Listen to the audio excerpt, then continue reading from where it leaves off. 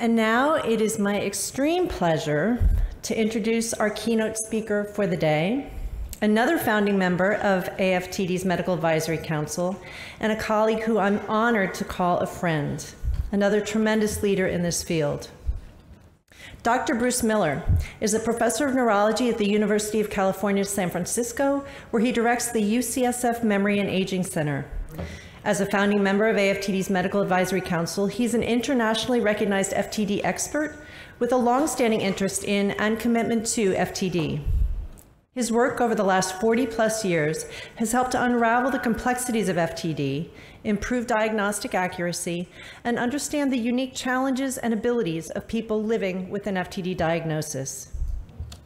In addition to being a singular figure in FTD science, significantly advancing our understanding of these disorders, Dr. Miller has provided compassionate, sympathetic care for countless people living with FTD, including many people attending this conference today. I've personally had the honor of working with him in the FTD space for more than 20 years, and I've seen the humanity that he brings to his work and FTD families across the country.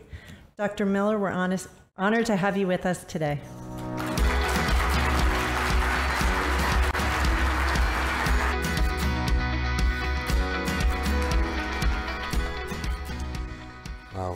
So uh, thrilled to be with you all today. Um, so many friends, so many memories. Uh, 40 plus years, that's kind of, uh, hearing that from Susan, that's a long time.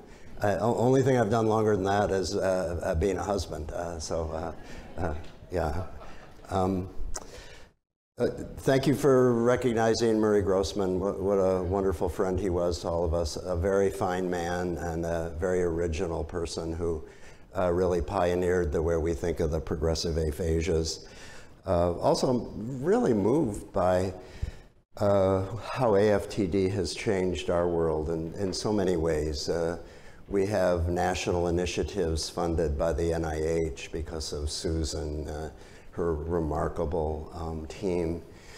Uh, the humanization of our patients uh, is just incredible. Ann Farguson, old friend and uh, one of the most remarkable people I've ever met. Uh, how incredible to have Ann representing patients with FTD. Hey.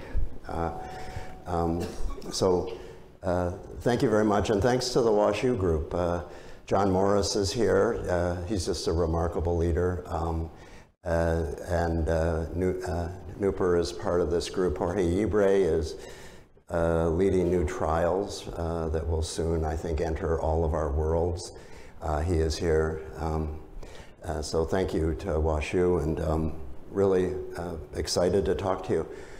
So I uh, came to UCLA in um, around 1980 to work with a man named Frank Benson who was the world's authority uh, on the frontal lobes and a, a very uh, fine person as well. And I got interested in frontotemporal dementia during my fellowship between 1983 and 1985. And um, at the time, no one other than Frank and uh, a few other people in Europe believed that there was a real disease called frontotemporal dementia, if you can imagine that. Didn't exist. Uh, it was a myth. Um, and so I got to see patients with Frank and hear about their stories. And um, Frank uh, convinced me that this was a very important uh, disorder that needed to be studied. And so uh, it's really also hard to believe, remarkable uh, to see how much uh, the field has advanced since that time when there was really no such thing as frontotemporal dementia. In my title, um, the most important word is hope. Uh, and, and, I think there really is hope ahead. It's the most exciting time in my lifetime in frontotemporal dementia. Uh, it's exciting in terms of diagnosis. It's exciting in terms of education. And increasingly, diagnosis uh, means something in terms of therapies. Uh, and I'll, I'll, touch on that as well because the therapies are coming and they're, and they're coming fast and furious. So, um, Arnold Pick, a great neuropsychiatrist from Czechoslovakia, uh, first described uh, patients with frontotemporal dementia. He, he, really described patients with progressive aphasia um, uh, in 1892. he was really pioneering in a couple ways. One, he realized that degenerative diseases could start focally. Um, and in the case of behavioral variant frontotemporal dementia, they start in the frontal lobes um, bilaterally. In the case of the progressive aphasias, they start on the left side of the brain, the language side. And, and so, so Pick was fascinated by this idea that you could have a degenerative disease that began uh, in the early stages in, on one side of the brain. Um, he uh, emphasizes preferentially hit the front, not the back part of the brain, not the hippocampus. Um, and we knew very little at the time about what the frontal lobes and the anterior temporal lobes actually do. I think all of you know much better even than the genius Pick uh, from your own personal experiences, what happens when the frontal lobes or the temporal lobes don't work. Um, uh, he, just, uh, he did not describe the inclusions that now carry his name, the Pick bodies. They were actually described by Alzheimer. But, you know, I, I think really this remarkable man did so much. Uh, and although we no longer think about uh, Pick uh, in the setting of um, degenerative disease, he, he, really was the pioneer. He set it all up. So when I was growing up in this field, there was a phrase, and it was, don't pick Pick's disease. What, what did that mean? It, it meant that one, uh, neurologists believed that this could not be differentiated from Alzheimer's disease. Um, imagine that.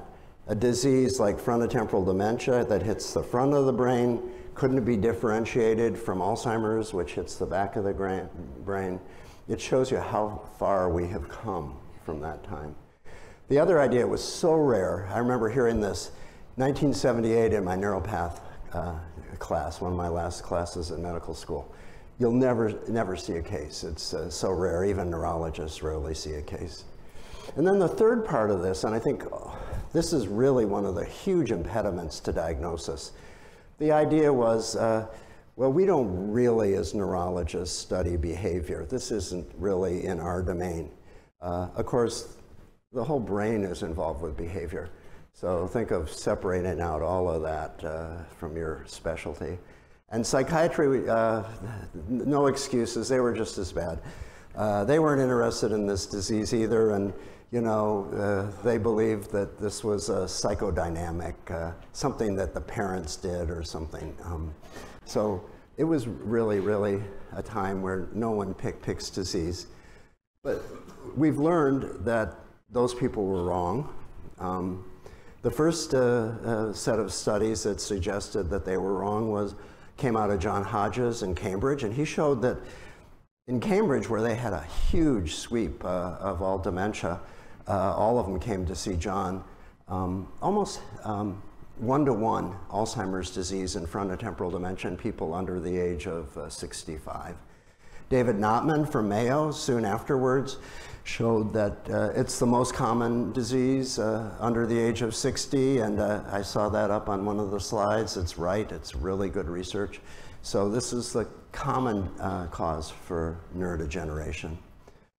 Um, I don't think we have good epidemiologic estimates of this. AFTD's done great work to uh, capture this as best as we can, but one of the problems is a lot of diseases that are really so close to frontotemporal degeneration that they should be considered as part of the spectrum are separated. So ALS, 90% of the people with ALS have aggregates of the TDP43 protein associated with frontotemporal dementia. Many people with ALS develop a frontotemporal degeneration, um, just like FTD. Uh, two disorders that were originally studied by movement people, PSP and cortical basal degeneration, are, are really, I think, subtypes of uh, frontotemporal degeneration. And won't talk about it today, but chronic traumatic encephalopathy and McKee's beautiful work from Boston University has shown um, that uh, the uh, NFL football players who develop a behavioral syndrome and motor disorders, sometimes ALS, very, very strongly uh, linked to the frontotemporal degenerations. Is it rare after the age of 70? The answer is no. Um, uh, a quarter of the cases in our cohort happened in people over the age of 65. One of the themes from this paper for, from Dr. So in, in um, Korea was that if you got frontotemporal degeneration after the age of uh, 65, more likely to have the tau protein in the brain, under 65, more likely to have the TDP43 protein. And then I, I, won't go into this in a lot of detail, but we have these magnificent brain banks across the country that follow people um, from different disorders to death. And one of the themes uh, in all of these brain banks is that people we call Alzheimer's disease, um, particularly old and very old, over the age of 70, uh, over the age of 80, have lots of other uh, degenerative proteins in the brain as well, including TDP43. Whether that's a form of FTD, uh, I think is debated, not clear, but I think it just emphasizes that uh, the diseases that we are, are interested in are common, important, need to be studied, need to be treated, um, need to be recognized in, in the society. So what about this idea that you can't differentiate uh, frontotemporal uh, disorders from Alzheimer's? It's just frankly wrong. I think good clinicians, um, and many of you are good clinicians, because many of you were the first one to recognize this uh, illness before your doctors do. Um, and you teach physicians and caregivers of, about this illness. Um, but it, it's, not, it's not difficult. One, one of the goals, we have a NIH-funded project that I started in 2004, now led by Marilu Gorno-Tempini, uh, and uh, Howie Rosen and, and Bill Seeley, the hope of this is that every patient with uh, FTD not only uh, will be diagnosed properly, but will be able to tell you the di different molecular subtypes, the specific proteins responsible for that person with FTD. Why is that important? Because people like Jorge Llibre are beginning to treat the molecules. So if we can diagnose people properly down to the molecule that causes their illness, then they will be eligible for treatment studies. A little bit about diagnosis. Um, this is an old study, but uh, I think it replicates experience across the world. Almost all of the people that we see with FTD originally given a psychiatric diagnosis in the community. Um, I think that's because in general in our society, we tend to dissociate behavior from the brain. If behavior changes, the brain has changed. That was a principle my teacher, Frank Benson, taught me. Uh, one of the interesting things from this study by Josh Woolley, psychiatrist, is that women in particular are prone to misdiagnosis. So 70% of the people uh, in our cohort here who had FTD uh, were called psychiatric, uh, usually about two years before they actually hit our center. Is that bad? It's really bad um, because I think increasingly we know we want to get treatments early. If we are not capturing FTD in the early stages, the therapies that are being developed will not be effective. So this is really an AFTD problem. It's our uh, Alzheimer uh, and FTD centers problems. It's societal problem. Um, and we'll think together about ways to change that. Um, here are some of the psychiatric syndromes that I have seen in the course of uh, my uh, years looking after people with FTD. Um, they're called, uh, and sometimes they look like a primary psychiatric disease before they actually develop frontotemporal syndrome. But look at the broad spectrum of uh, illnesses that uh, can mimic FTD. I think one of the key points here, and, and I think our psychiatric uh, community doesn't realize this, is that this isn't just relevant to frontotemporal degeneration. This is relevant to psychiatry because we know the anatomy of these people. If they develop a bipolar type presentation uh, with FTD, we know exactly where in the brain there is a change. So I, I think profound implications from uh, uh, the psychiatric syndromes to the broader field of, of, psychiatry. But also, I think, thinking about early, we have to get in to clinics where people are first diagnosed uh, uh with a behavioral change called psychiatric because that's when I think often our diseases uh, first manifest. We developed research criteria for uh, the behavioral variant of frontotemporal dementia um, in 2011. Really a massive international effort. Um, and they're unlike any research criteria I know of in neurology. Look at how strongly they emphasize early onset of behavioral changes. Disinhibition, um, doing things that are inappropriate, apathy, loss of empathy. This to me is incredibly profound.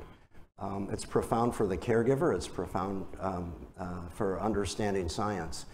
That a disease that attacks the uh, anterior temporal lobes, particularly the right one, uh, strips us of our ability to empathize with someone else.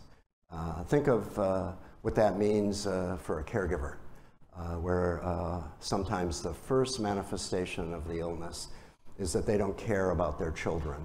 They don't care about their grandchildren. John Morris and I were just talking about our grandkids. I guarantee you, we don't have frontotemporal dementia. uh, seeing the beam and the pictures, you know, you know what I'm talking about. Uh, repetitive compulsive behaviors, often called um, obsessive compulsive disorder, overeating. About 60% of our patients uh, gain uh, at least 10 pounds in the early stages of the illness. And then finally, when the neuropsychologists sit these uh, patients down, they have loss of what we call executive uh, function, planning, organizing, sequencing, but their visual spatial skills are spared. Uh, so they can draw beautifully. And, and, as I'll touch on at the end of my talk, some patients with uh, FTD actually become artists in the setting of the degenerative disease. Um, come back to the implications of that in a, a moment. What percentage of the people that we see um, have atrophy on the MRI? M almost all of them. So I think the, the punchline here is if uh, people with the FTD syndrome actually had an MRI scan, um, it, it, would be very high likelihood diagnostic. A lot of them don't get an MRI scan because they're considered psychiatric or something else. Um, and then mutations. Mutations uh, are changing the way we think about the FTD. Uh, and I think lots of therapies uh, devoted to the mutations that can cause uh, FTD. And I'll, I'll, come back to that in, in just a moment or two. Antisocial behavior, uh, very common with FTD. I don't have to tell this audience about that. Um, this is a study we did with uh, Madeleine Liljegren, George Naasan. Uh, we looked at all of our FTD patients and asked the question, what percentage of them actually developed an antisocial behavior that could have been classified as a crime? or was classified as a crime. I, I have written really tens, maybe hundreds of letters uh, to the legal system about my patients uh, because uh, these are never recognized as caused by a degenerative disorder. Um, and, and, it's a real tragedy the illness. Doesn't happen late in the uh, course of the illness. Sometimes it happens before someone ever gets a diagnosis. Uh, and so I, I think we've thought a lot about the sorts of disinhibited behaviors that lead to antisocial behaviors. They're, they're often very poorly planned out crimes. Patient with FTD walks into a, a store, they're hungry, they go to the ice cream uh, section, uh, eat the ice cream, uh, walk out without paying, uh, have to pay, uh, end up going to uh, to, to, jail. Th these are the sorts of things that we see with FTD, but certainly very disruptive to families. And families have to organize uh, the lives of themselves and the, and the individual with this disease to prevent these uh, antisocial acts. Um, loss of empathy, uh, incredibly common. Um, Kate Rankin uh, has done pioneering work in this space, and uh, she has uh, shown that if your disease begins in the right anterior temporal lobe, um, more than 50% of the people, families say, the first thing that they notice was loss of empathy. Uh, someone has a medical illness, the patient with FTD doesn't care. Um, cruelty to children, to animals, to elders. Um, things that were totally outside the spectrum of what uh, they uh, used to see. Remember uh, one of my uh, very smart caregivers uh, talking about her mother, and they were driving in a car together, and uh, she had, the, the daughter had to let off 50 of her employees, and she started to cry talking about this. And the, the mother giggled and laughed and continued on as if nothing had happened. Um, we have uh, learned that people with FTD don't recognize emotions in other people. They don't feel the same emotion that we do when they see something as sad or um, uh, surprising or frightening. And I think this lack of feeling um, is, a profound part of why they have uh, difficulty. Um, isn't this interesting? So we have a right anterior temporal lobe that's really important for recognizing faces, emotions in faces, people, and it's part of an empathy network. And when that empathy network degenerates, um, you see uh, profound uh, behavioral changes that affect an entire family. Um, just uh, one quick comment about Psychosis. I used to think this was really unusual in FTD. Did a study uh, when I was at UCLA in the 80s. It was about 10% of our cohort. But what we've realized uh, is that the genetic forms of FTD have a very high prevalence of psychosis. These are often grandiose uh, or paranoid psychoses. Uh, uh people believe they've won the uh, lottery. They buy a yacht when they have no money in their bank account. Um, they believe that they have become uh, uh, official of, of, some importance. Um, and so the interesting thing about this pathology-based study that we did is uh, almost all the patients with psychosis with FTD, it was about 30% of our, our, our cohort, um, uh, had TDP43 as the protein. Very rare with tau.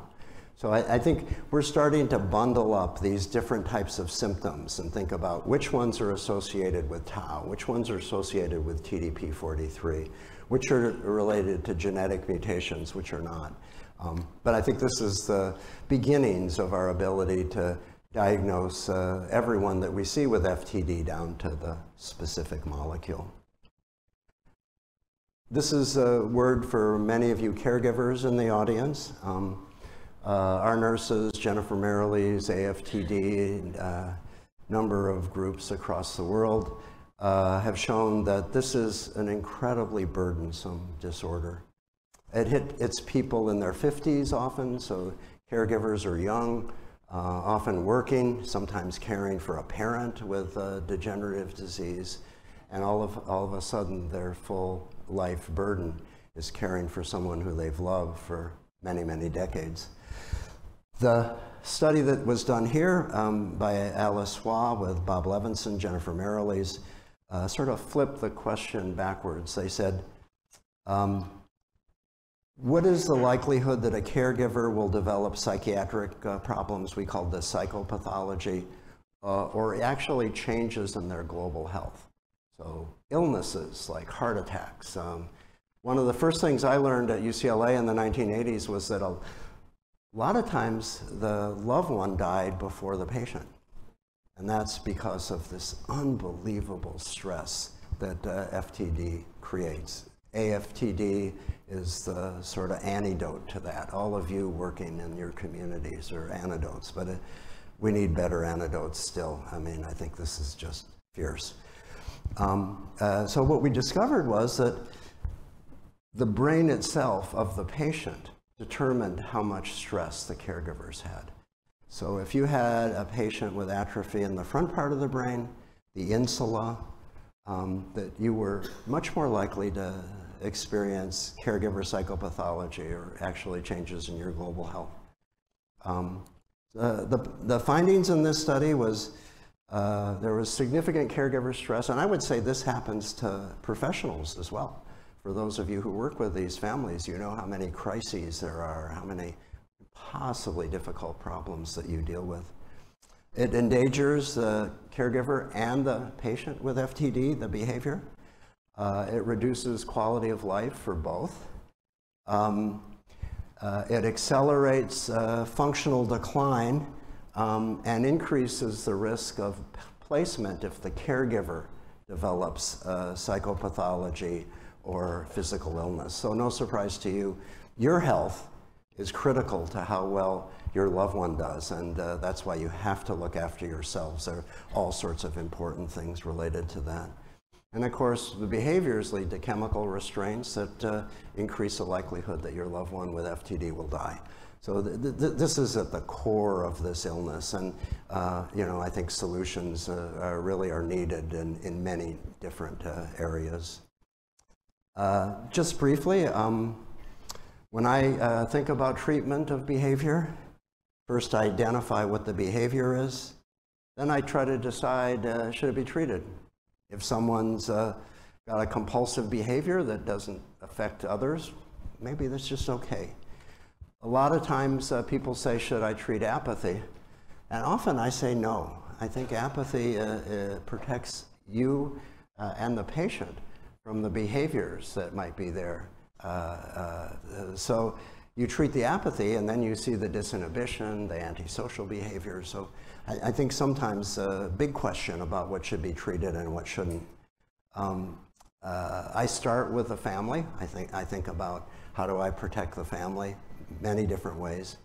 Interventions uh, in the environment are often critical. When someone comes to me and says, my loved one has a behavior with FTD, I often begin by saying, well, we're going to try to treat this and we're going to think of medicines, but they may not work. And you may have to think that you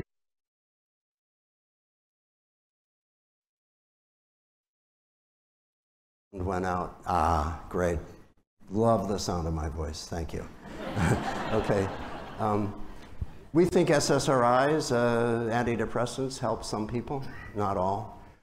And a lot of the drugs that are used for Alzheimer's make people worse. Uh, memantine, cholinesterase inhibitors, Aricept. I think some of the worst behavioral syndromes I've ever seen in FTD are caused by someone being given Aricept.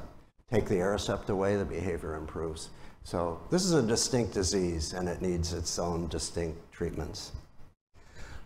Uh, talk to someone who said, you know, when you guys start talking about all of the you know, deep science of this I don't understand. So I'm, I'm going to try to make this really understandable. Uh, but I, I just want to emphasize that we have three major types of frontotemporal dementia. Behavioral variant, it hits anterior frontal temporal lobes bilaterally, sometimes right more than less.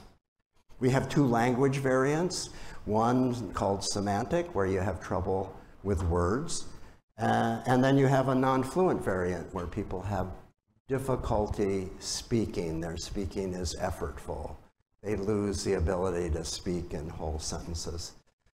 This wouldn't matter very much, except that it is highly predictive of the underlying molecule. So if you have the non-fluent variant, I'm pretty sure you have tau as a cause for your neurodegenerative condition. In our brain bank, 85% have tau. Uh, even more so, some of the others have a mutation in the progranulin green, uh, gene. So if we see someone and we want to give an anti-tau uh, drug, and they have a non-fluent aphasia and they don't have a progranulin gene, we're pretty happy about putting them into a clinical trial. We know what they have and we know what we're treating. The semantic variant is really the opposite. These people have uh, TDP43 as the cause uh, for the neurodegeneration. Many of those people have an inflammatory signal as well, autoimmune disease. Uh, uh, Peter Ljubenkov at UCSF has started an anti-inflammatory uh, drug trial for people with semantic variant. So different clinical syndromes, but really more important, different underlying molecules.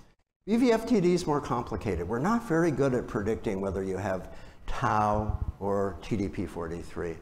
Uh, that makes it really hard for clinical trials if we can't, you know, determine which mechanism is responsible for the illness. Um, the uh, BVFTD is very strongly genetic, um, and I think increasingly um, we want all of the people with FTD, and we're, we're working on national efforts to get this funded, that everyone with FTD will get a whole genome. So we'll know exactly what is responsible for the FTD in that person what are the relevance to the family as well. Um, the three big genes are tau, um, and uh, this tends to present younger. We've uh, recently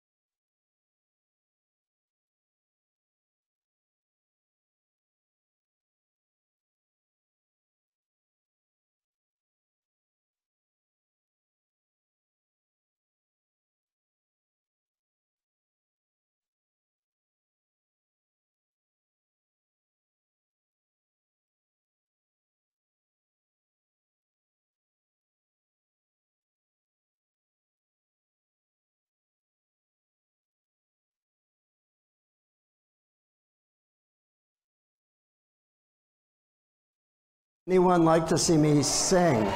No. Mm, okay. I would dance. It's nonverbal, uh, but uh, you don't want to see that. No. Okay. Um, so the tau mutations very common in young people with familial forms of FTD. What are we going to do with these? We're going to turn off the bad tau gene. What if you have sporadic form of frontotemporal degeneration with tau aggregations? We're going to turn off the tau gene. Um, all sorts of really smart therapies emerging in this space, uh, ranging from antibodies to something called antisense oligonucleotides that go to the gene and turn it off. We have a brilliant physician at UCSF named Claire Clelland who is working with CRISPR, with the inventor of CRISPR, Jennifer Doudna, to use CRISPR to turn off the tau gene. I think if we can get people with the tau form of FTD early, uh, we will be able to find a prevention. Um, and that's why these familial forms are so darn important. Granulin, a very different story. This is a protein that uh, seems to be very uh, important for growth of neurons, the stability of neurons, and also uh, helps the neuron to degrade bad proteins. Uh, it's a deficiency. So if you have the progranulin form of frontotemporal dementia, uh, you are deficient in progranulin. Um, pretty simple therapy. You have to boost progranulin in the brain. We have more, almost more companies with smart therapies for progranulin than we do patients. So this is, a, I think, a, a, really important time. Uh, seriously, we have eight companies right now with different approaches to increasing granulin in the brain um, uh, that I think will be effective uh, if we can get in early enough. But uh, these, stu uh, these studies have been slowed because of uh, too few patients. C9orf72 is the most common gene in our population. It causes FTD and ALS. Um, uh, uh, it's due to a abnormality in the C9 gene. It becomes too big. Uh, how are we going to cure this? We're going to cut it out. Uh, that's where Claire Clelland has worked with, with CRISPR. Uh, she thinks she's about four years away from a clinical trial related to CRISPR. So let's uh, all cheer on Claire because this is really, really important.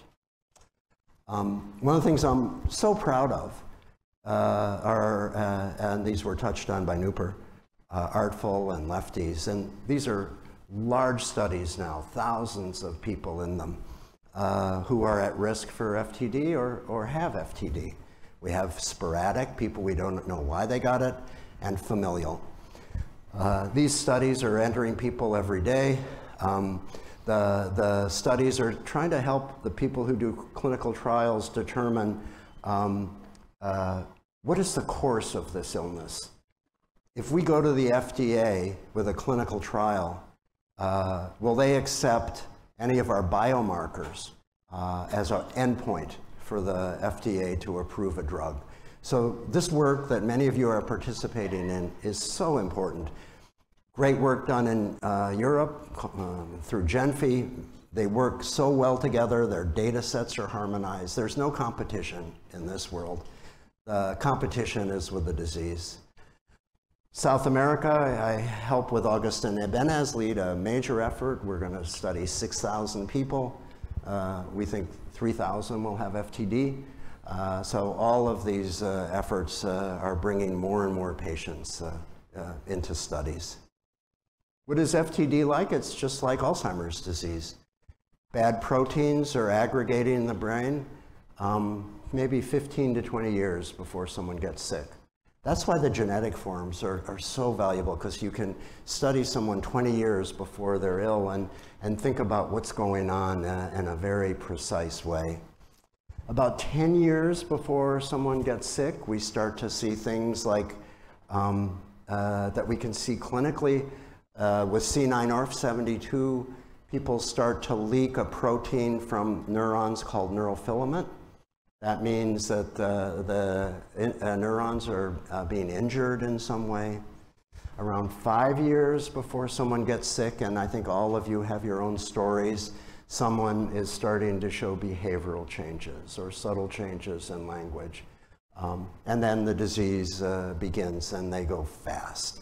Um, uh, with uh, progranulin in particular, we think, uh, you know, the massive atrophy uh, in the year that someone presents, massive leakage of the neurofilament protein. Uh, so these biomarkers that we're developing, MRI, the neurofilament, we're going to the FDA. Adam Boxer is going to the FDA. Uh, Jorge is going to the FDA and saying, we think this biomarker, if it changes, if neurofilament normalizes in someone with a drug, this means the drug is working. What that means is we don't need thousands of people in clinical trials. We need hundreds, maybe even less than hundreds. So that's why these longitudinal studies are so darn important. Uh, neurofilament uh, is becoming really a incredibly good biomarker, certainly for C9, certainly for progranulin. Um, uh, and these, what these uh, images show that uh, well, uh, once you start getting sick with FTD, the neurofilament is starting to elevate, not only in your spinal fluid. I love plasma biomarkers because I don't love doing lumbar punctures as much.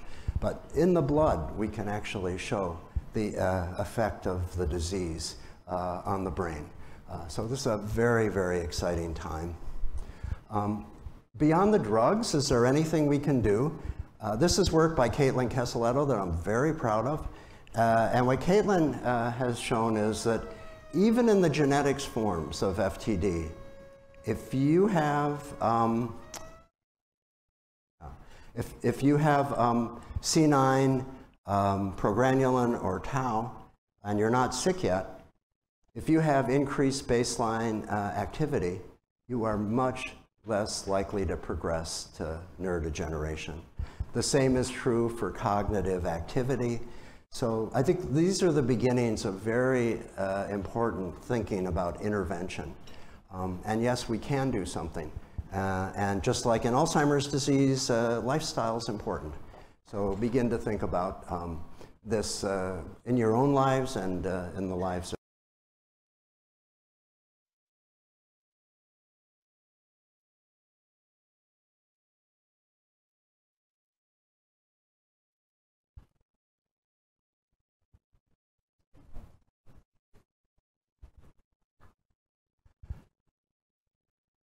Well, this is my slide of optimism. This is hope. This slide right here is uh, as much as words can show hope. And uh, these are the treatments for the different forms of FTD. Uh, I never would have believed it when I uh, started in this field. But uh, over the next decade, I believe we will see effective therapies for the different forms of FTD. I think getting as many people into clinical trials is uh, going to be really important. Um, and uh, I think this reflects an enormous creativity of scientists in our field in the different ways they're thinking about therapies. And of course, AFTD has been a major funder, a major stimulant for uh, all of these clinical trials. Okay. This is some harmonic sound from the, I don't know, where in the universe it's coming from. Okay. Um, uh, I'm going to end with a little bit of hope too, and that's about creativity. Um, so we humans, I think uh, around 50,000 years ago, started to show visual creativity. Uh, the caves of Lascaux are, are, one example of them. Uh, but not just Europe, uh, beautiful uh, art in, in, the Andes around 11,000 years ago. South Africa, we see work going back maybe um, to 50,000 years ago. So this, uh, probably the first painting comes from Indonesia. So we see this explosion of visual creativity associated with our species, which I think meant that there was a change in the brain. Uh, you know, we are unique uh, compared to other apes, including Neanderthals, uh, and uh, we are unique compared to other species on this planet in this visual uh, skill.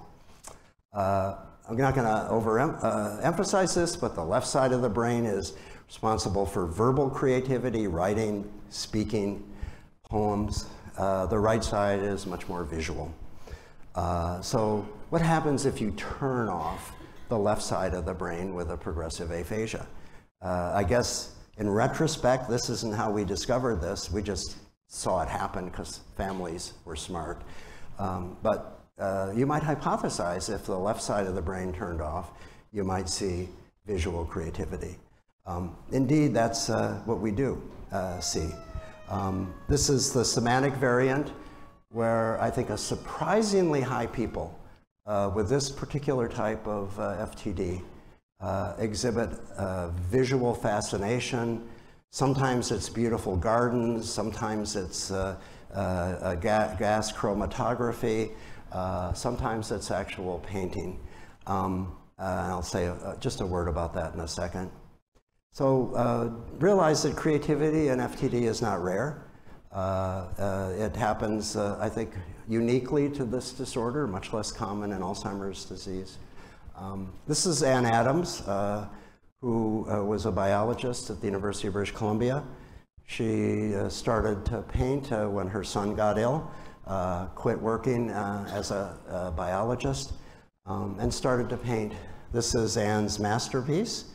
It's called Unraveling Bolero or Unraveling Ravel. And what she did was she took Bolero, gave each uh, meter a note, her favorite note, a color, and represented Bolero, uh, which is a very unique piece of music visually. Um, as, uh, the, uh, as the work got louder, you see the notes got longer, um, and uh, then there is a, a, a crash uh, as the piece ends. Uh, we got a hold of one of Anne's notebooks uh, when she was doing this, um, and uh, you can see the meticulous work she did over many months, trying to capture visually what Bolero sounded like. Um, as it turns out, Ravel, uh, about three years after he wrote this piece, developed the same progressive aphasia that Anne did. So cross time, cross space, uh, different people obsessed with this particular piece of music. Uh, Ravel hated it. He said it wasn't music, it was uh, experiment in sound. Um, uh, but uh, uh, we think that the change in Ravel's brain with the progressive aphasia before the disease started was responsible for him creating this magnificent piece of music, just like Anne's piece was a magnificent visual representation. Um, not going to show Anne's uh, whole work, but this is not a photograph, this is gouache of rocks. Um, and so she painted almost to the time she died with a progressive aphasia. What we learned from Anne, and this is Bill Seeley's work, is that when Anne started her uh, painting, before she actually had a, aphasia, the left uh, frontoinsular region, where progressive non-fluent aphasia begins, was statistically smaller than 30 age match controls. This brilliant scientist was developing degeneration in the left frontal region um, before she actually manifested an aphasia. No surprise. But more remarkable, what you see in red is the back of her brain, where we imagine and visualize the world, uh, was actually statistically bigger uh, than 30 age matched controls. This isn't Anne, this is neurodegeneration. Uh, as one circuit turns down before we see clinical evidence of the disease, other circuits in the brain are increasing. So this combination of our own weaknesses and our own strengths, we believe increasingly is going to be important in getting in in the very earliest stages of these diseases.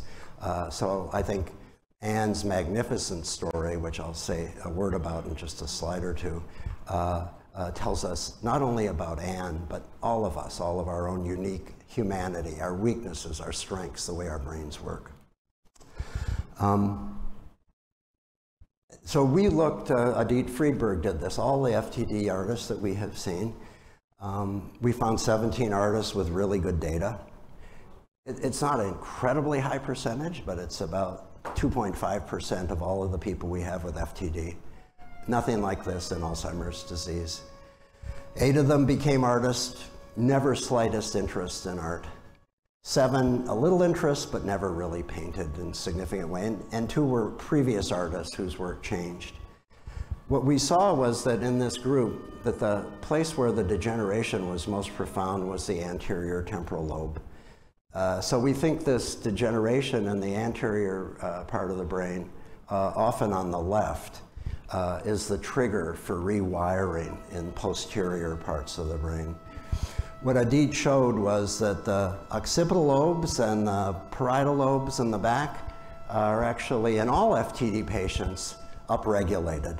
So uh, this region uh, is uh, increasing in its activity. Uh, if my uh, posterior uh, brain started to visualize things and see things, it wouldn't translate into good painting. I know it wouldn't. But if I had the right substrate, uh, uh, like some of our artists, it really might. Um, one of the really fascinating things that she said, and it shows something I think about neurodegeneration, is that the, the left motor strip, the right hand, the hand that these artists are using to paint, was actually uh, strongly uh, statistically correlated uh, with the uh, occipital region. So this uh, visual drive associated with motor activity, the volume actually increases. So you are able to train the hand to uh, perfect the production of art. Um, what does the art look like? Bright colors, uh, rarely focused on the human face. When present, facial expressions are bizarre. The FTD artist represents the face the way they see it, um, doesn't convey natural emotions. Um, uh, you can see that uh, duck-like uh, figure, that's one of my favorite patients, just beautiful uh, welding. He, he welded uh, art, uh, didn't sculpt it. Okay, so I'm gonna end with this, and this is a joint project between FTD and um, AFTD and the Conservatory of Music and our Global Brain Health Program at UCSF. We believe that you uh, and artists are much better at telling the story of FTD than we are as scientists. So I think increasingly we think it's important to get the arts involved uh, with um, our patients, with our patient population. We have a fellow, Jake Broder, who's written a play about Anne Adams uh, and her husband, Robert. It's an incredibly moving play. Uh, it talks about caregivers and what, how hard it is for a caregiver. It also shows Anne inspired to paint in the setting of this neurodegenerative disease. Ravel takes part in this. We are going to make a movie for this. We're doing a fundraiser with AFTD. Um, but I think with uh, now Bruce Willis, a patient with FTD, uh, our, our uh, disorder is starting to get a human face. And I think the more that we can publicize this story, the more that you can tell your stories through artists, uh, uh, those of you who are artists telling it with your own, own hands or voice. I think the quicker the society will be to recognize this problem and the quicker we will all be to uh, have new therapies for FTD. So thank you all. I apologize for the wine. Um, I didn't mean to do it. Um, and um, uh, anyways, uh, thank you. Uh,